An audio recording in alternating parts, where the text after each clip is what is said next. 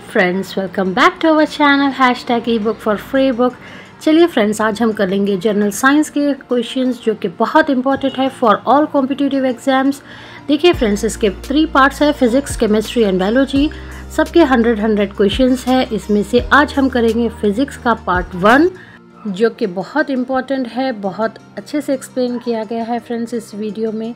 तो आपको बहुत ही इजी होगा याद रखने के लिए। बस चलिए फ्रेंड्स जल्दी से चैनल को लाइक कीजिए शेयर कीजिए सब्सक्राइब कीजिए और कमेंट्स भी कीजिए। थोड़ी सी फ्रेंडशिप आप भी बताइए हमारे साथ। ओके फ्रेंड्स चलिए शुरू करते हैं क्वेश्चन नंबर वन से। Question number one blades of a windmill process hence they are turn by a fast wind windmill के ब्लेड्स होते हैं, इसलिए वो तेज़ हवा से मुड़ जाते हैं। जैसे कि हमने विंड मिल के ब्लेड्स देखे हैं विंड मिल्स देखी हैं, ये क्या है फ्रेंड्स ये किस लिए होता है? ये होता है पोटेंशियल एनर्जी की वजह से। तो इसका करेक्ट आंसर है potential energy question number two a dark skin man experiences as compare to a fair skin man एक डार्क स्किन मैन और फेयर स्किन मैन के एक्सपीरियंसेस में क्या डिफरेंस है?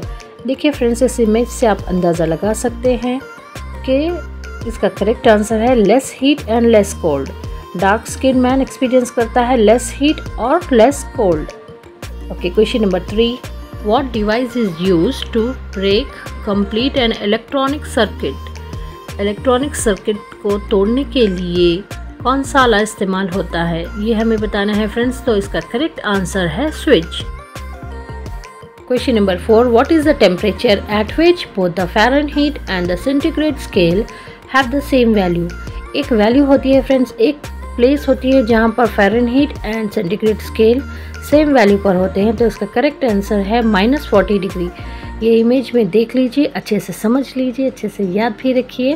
Question number five acceleration acts always in the direction of the acceleration हमेशा किस direction में होता है फ्रेंड्स एक्ट करता है तो इसका करेक्ट आंसर है नेट फोर्स एक्सेलरेशन मींस क्या है फ्रेंड्स तेज़ रफ्तारी. उर्दू में इसको क्या कहते हैं? तेज़ रफ्तारी. जो तेज़ रफ्तारी होती है स्पीड होती है, उसे कहते हैं इसका फॉर्मूला देखिए friends acceleration equals to change in velocity by time इसका फॉर्मूला भी पूछ सकता है एग्ज़ाम में तो अच्छे से याद रखिए friends Question number 6. The principle used in working of an atom bomb is atom bomb के काम करने का उसूल क्या है फ्रेंड्स ये है nuclear fusion nuclear fusion is the right answer जो बम ब्लास्ट होता है ना, वो किससे होता है?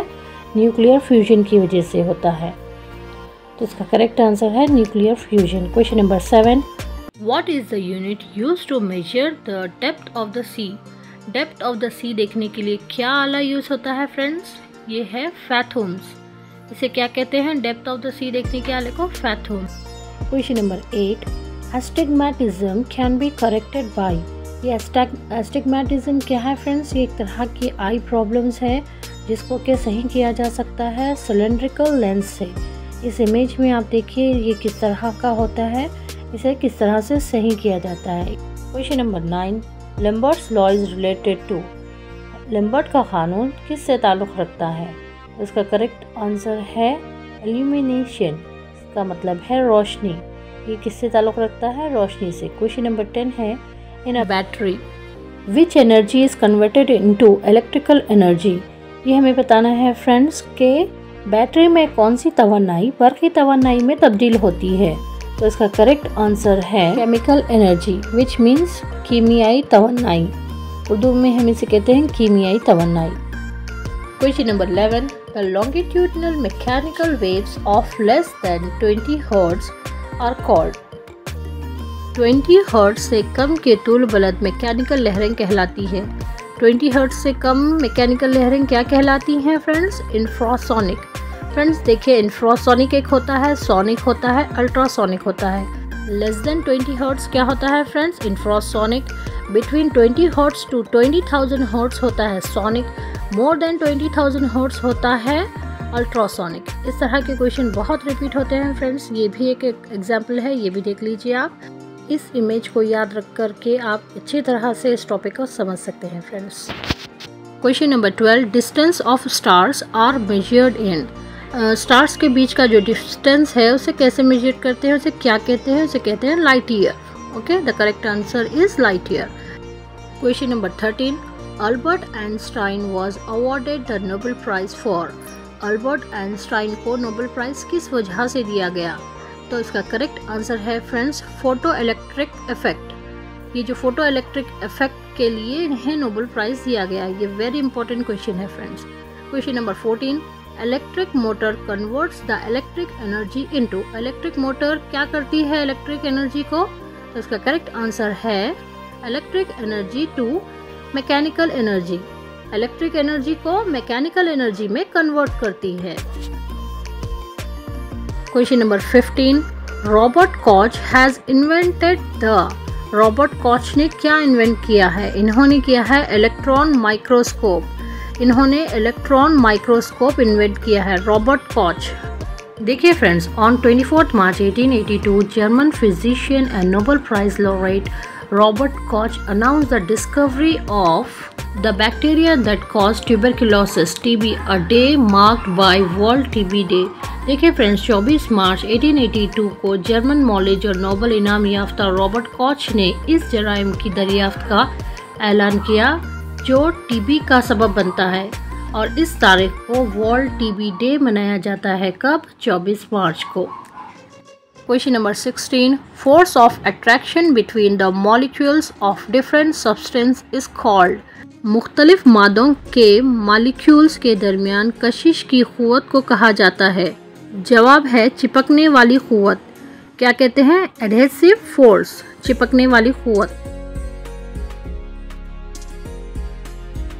Electrons in good conductors are called electrons in good conductors are called loosely bonds क्या कहते हैं इसे? लूजली बॉन्ड यानी अच्छे मौसिल में इलेक्ट्रॉन होते हैं। इसका आंसर है ढीले बांधे, यानी loosely bond okay question number 18 one barrel of oil equals to litres approximately how much litres one barrel of oil will be equal to how much litres answer है 159 लीटर्स एक barrel oil कितना equal होता है? तो इसका answer है 159 question number 19 if a bar magnet is cut lengthwise into three parts what will be the total number of poles be अगर एक बार मैग्नेट को कट किया जाएगा थ्री पार्ट्स में तो इसका कितने पोल्स होंगे इसके? तो आंसर है six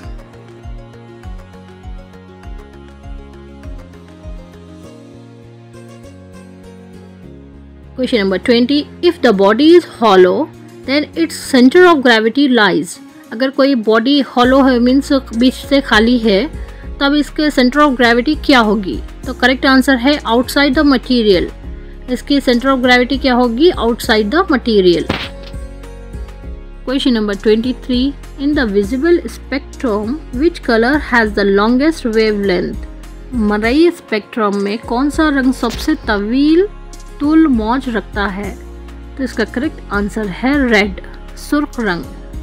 the answer is red देखिए फ्रेंड्स रेड कलर की वेवलेंथ है 652 टू 740 एंड ऑरेंज कलर की है 590 टू 625 येलो कलर की है 565 टू 590 इसी तरह देखिए फ्रेंड्स सबसे कम वेवलेंथ है वायलेट कलर की जो है 380 टू 425 ये सारे के सारे हमें याद रखने हैं friends 24 in which medium sound travels faster कौन से मीडियम में, कौन सी चीज़ में साउंड बहुत फास्ट ट्रैवल करती है? The correct answer is solid solid में साउंड बहुत फास्टर ट्रैवल करती है।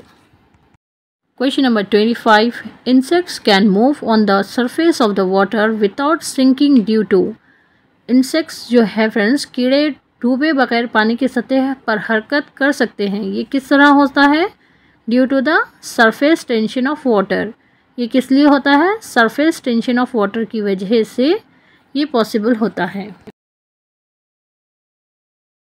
चलिए फ्रेंड्स एक मैच द फॉलोइंग कर लेते हैं। ये बहुत ही इंपॉर्टेंट है। फ़र्स्ट वन है, देखिए friends the ring planet ring planet किसे कहते हैं फ्रेंड्स सैटर्न को रिंग प्लैनेट कहते हैं। द लार्जेस्ट प्लैनेट सबसे बड़ा और लार्जेस्ट प्लैनेट कौन सा है? वो है जुपिटर अ नेचुरल सेटेलाइट ये तो सभी जानते हैं, वो है moon the windy planet windy planet किसे कहते हैं फ्रेंड नेपच्यून नेपच्यून को विंडी प्लानट कहते हैं। The smallest planet is Mercury चलिए फ्रेंड्स आगे के बिग बहुत इंपॉर्टेंट क्वेश्चन है। हम वो बहुत जल्दी ही करेंगे। तब तक के लिए चैनल को लाइक शेयर सब्सक्राइब करिए। Thank you for watching